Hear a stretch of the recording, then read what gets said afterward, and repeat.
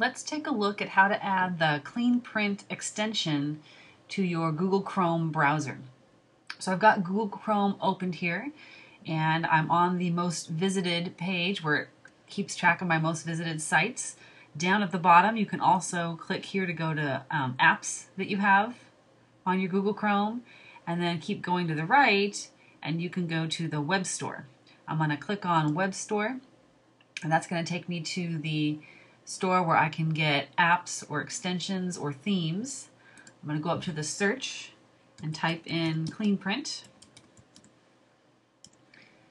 And I will search for clean print and you'll see it takes me to results in clean print, but it's on apps. So these are apps and I want an extension for Chrome. So I'm going to click on extension.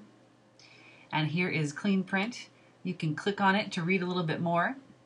It tells you how to use it, um, how to install it. I'm going to go ahead and just click on the blue button and add to Chrome. It's going to ask me if I want to add that extension to my Google Chrome. Click add.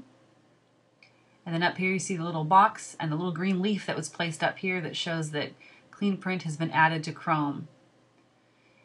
And so once it's added, you need to restart the browser.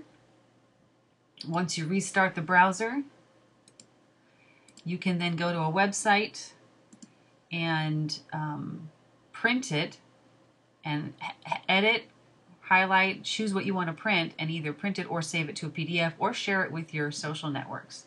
So now that I've um, restarted my browser, let's just go to a website and pick an article. So here's an article, and if I want to print it, I just click that leaf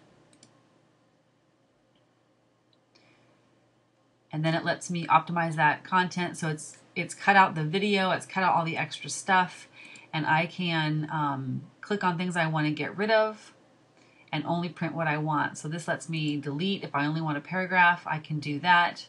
And um, if I want to undo what I just did I can add in the pieces I deleted and print the rest of the article. So a great way to customize what you're printing save on paper if I don't want to print, I can save it to iCloud, make a PDF, email it, and other options are listed here.